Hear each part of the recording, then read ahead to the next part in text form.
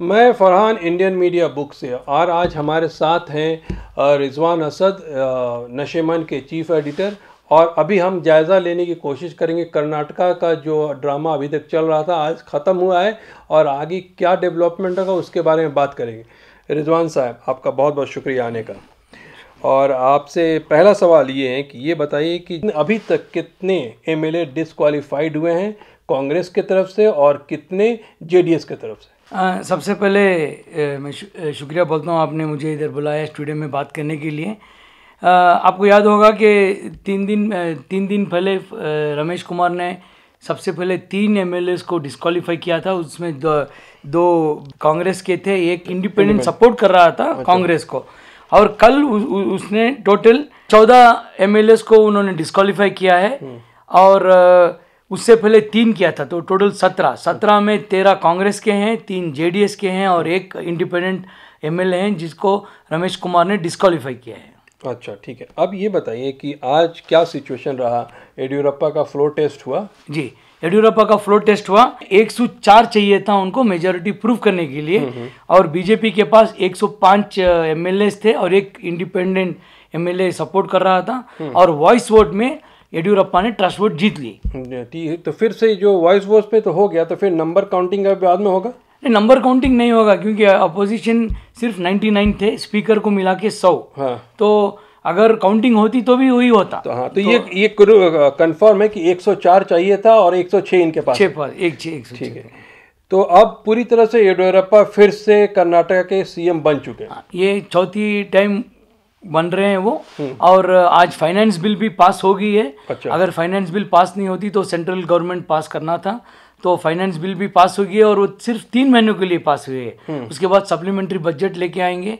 और अभी ये देख सबसे बड़ी ये बात है कि ये देखना है कि तीन महीने तक ये कैसा चलाएँगे। तो तीन महीने के लिए शायद इन लोगों ने ऐसा इसलिए किया होगा कि चलो फौरी तौर पे कर लेते हैं और मे भी तीन महीने के बाद मॉडिफाई करेंगे इसको। मॉडिफाई नहीं अभी जो सीएम येडियुरप्पा जो सीट पे बैठे हैं वो बहुत नाजुक स्थिति में है। क्यों अगर अ, वो कुछ मॉडिफाई करने गए तो अपोजिशन का प्रॉब्लम हो जाएगा और कैबिनेट जो एक्सपेंशन करने वाले हैं पीर या मंगल को इनको बहुत दिक्कत पड़ेगी। ठीक क्यों क्यों दिक्कत पड़ेगी? क्योंकि चार लोग ऐसे हैं जो डिप्टी सीएम बनना चाहते हैं और वो चारों को चार डिप्टी सीएम बनने की चांस नहीं है। तो इसलिए इनको दिक्कत पड़ेगी।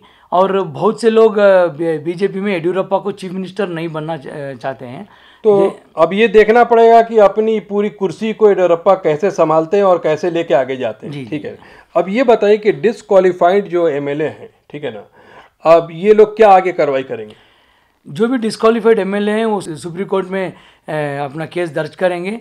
और सुप्रीम कोर्ट जब तक फैसला नहीं ले सकती कुछ नहीं कह सकती। तो अब ये बताइए कि को सुप्रीम अभी ये जो कोर्ट की कार्रवाई चलेगी तो कोर्ट में ये कह सकता है कोर्ट कि भाई आपने जो फैसला हुआ है विधानसभा के अंदर वो सही है और आपको डिसक्वालीफाइड किया जाता है। नहीं वो वो जज के ऊपर है। वो pros and cons constitutional schedule ten में कैसा स्पीकर ने उनको डिस्कालीफाई किया है वो सब स्टडी करके कोर्ट फैसला लेती है। और इतना जल्दी नहीं होता फैसला। मान लीजिए चार महीने हो मान लीजिए कि डिस्कालीफाइड कर कोर्ट ने भी कर दिया तो क्या उनके जगह फिर से री इलेक्शन होगा बे, बेशक री इलेक्शन होता है और ये लोग नहीं कर सकते। ये लोग नहीं खड़ा होंगे। नहीं ये लोग नहीं कर सकते। डिस्कालीफाइड है up to end of this assembly term that is 2023 तक ये नहीं कर सकते। हाँ तो अभी जो टर्म जो पाँच साल का है उसमें ये खत्म हो रहा है पाँच साल का 2023 में। तेईस। तो तेईस तक ये लोग खड़ा नहीं नहीं खड़ा। इसलिए वो चैलेंज कर रहे हैं कि जो रमेश कुमार जो रूलिंग दे के है हमको disqualification till this assembly is null and void you cancel that so that we can contest in the bypoll तो ये सब प्रोसेस में आपको क्या लगता है? दो तीन महीना तो लग ही जाएगा।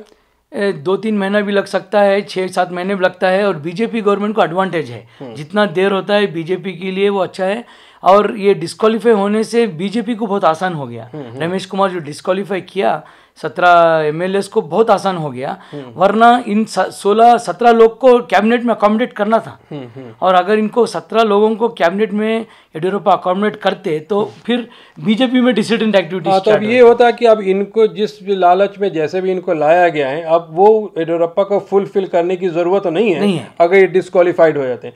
तो बहुत आसानी से येडियुरप्पा अभी अब इस सिचुएशन में अपने लोगों को खुश कर सकते खुश कर सकता है। और इस कैबिनेट में सिर्फ़ तीस पर चार लोग मिनिस्टर बन सकते हैं सिर्फ़ तीस पर चार तो ठीक है तो अब ये देखना पड़ेगा रिजवान साहब कि अगर मान लीजिए शायद कोर्ट की कार्रवाई में ये लोग चाहेंगे इसको प्रोलॉन्ग करने के लिए और जब भी इलेक्शन होता है और उस वक्त क्योंकि देखिए मार्जिन ऑफ़ वोट बहुत कम है आगे पीछे ज़्यादा फ़र्क नहीं है ठीक है तो अगर मान लीजिए चार महीना पाँच महीने के बाद री इलेक्शन ये सत्रह जगह पर होता है तो उस वक्त देखना पड़ेगा कांग्रेस जेटीएस कितना सीट जीतती है और बीजेपी कितने जीतती है।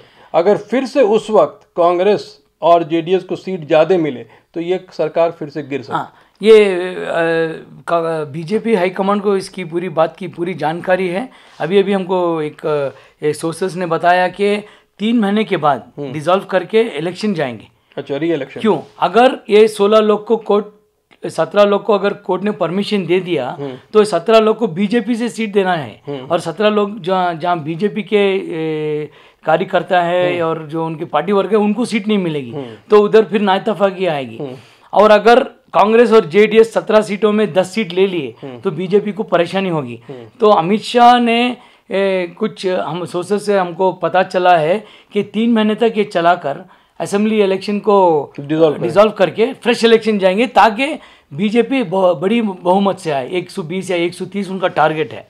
लेकिन अभी ये बात ये भी है कि अगर ये इलेक्शन सत्रह लोग का हो गया। तो इस कांग्रेस और जेडीएस का कोलेशन कैसा है? अगर वो कांग्रेस कोलेशन का गवर्नमेंट एक रहेगा या कांग्रेस अलग लड़ेगी या बीजेपी जेडीएस अलग लड़ेगी वो भी देखना है। हाँ जी। अगर ये मिल के लड़े तो फ़ायदा रहेगा। अगर अलग अलग लड़े तो फिर बीजेपी को फ़ायदा होगा। हाँ तो अब यही है कि आप जो बोल रहे हैं हो सकता है वो जो सोर्सेस से खबर पड़ी है खबर है वो सही हो क्योंकि आ, ये अगर सत्रह लोगों को बीजेपी सीट देती है अपने तरफ़ से। जो पुराने नेता और वहाँ जो कार्यकर्ता पहले से हैं वो नाखुश होंगे और डेफिनेटली वो बीजेपी को सपोर्ट नहीं करेंगे तो उसमें चांसेस है कि कांग्रेस और जेडीयू को ज़्यादा सीट मिले तो उससे सरकार गिर सकती है। तो डेफिनेटली ये जो आप बोल रहे हैं सोर्स की बात कि लगता है कि तीन चार महीने के बाद ये री इलेक्शन कराएँगे और पूरी बहुमत से बीजेपी आने की कोशिश करें अभी और एक पते की बात कहना चाहता हूँ। अगर आज बीजेपी के पास 106 एम नहीं होते तो जेडीएस उनको सपोर्ट करती। अमित शाह ने कुमार स्वामी को फ़ोन करके बातचीत कर ली थी कि फाइनेंस बिल पास करनी है वोट ऑफ़ ट्रस्ट को हम सपोर्ट करना है। कुछ बीजेपी के विधायक इसके खिलाफ हो गए और उन्होंने ट्वीट किया कि we don't need JDS support तो कुमार स्वामी जो और देवेगौड़ा जो सपोर्ट करने वाले थे वो रद्द कर दिए। और इससे साफ़ ज़ाहिर होता है कि बीजेपी के चंद ऐसे लीडर लीडर हैं जो येडियुरप्पा को बैठने नहीं देते। इसलिए तीन महीने का टाइम मैं बोल रहा हूँ और वो तीन महीने का बजट का टाइम भी इसलिए लिया है कि सिर्फ़ तीन महीने चला दें। तीन महीने के बाद असेंबली इलेक्शन होगा। ठीक है। तो रिजवान साहब बहुत बहुत शुक्रिया आपको कर्नाटका का अपडेट देने के लिए। आगे इस नज़र पर खबर रखिए जैसे कुछ हो हमें बताइए हम लोगों तक पहुँचाने की कोशिश करेंगे। Thank you so much